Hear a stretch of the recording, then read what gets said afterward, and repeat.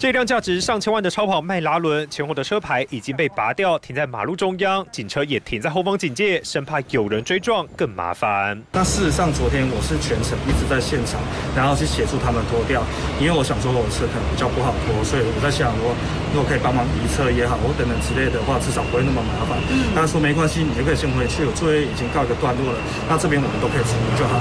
其实这辆超跑停在这里已经超过六个小时，拖吊车没人敢动。事发就在凌晨三点多。这辆迈拉伦违停在台中市中美街的一间店门口，警方巡逻时拦查，结果中信车主拒绝酒测，警方依规定开拒测罚单，还当场拆掉车牌准备扣车。不过因为超跑低底盘，脱掉师傅都说超跑的电脑系统没用钥匙解锁，硬拖的话可能会坏掉。但车主一离开就失联，车子从半夜放到早上，一早民众纷纷围观。你有喝酒吗？你喝酒吗？我刚有喝一点。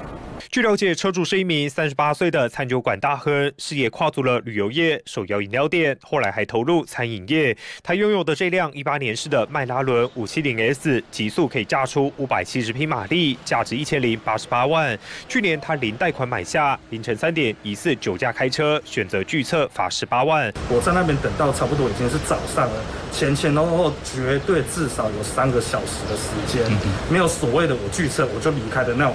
没有。听说，呃，那个人有酒驾，所以我教我的儿子小心不要不要喝，开车不喝酒，喝酒不开车。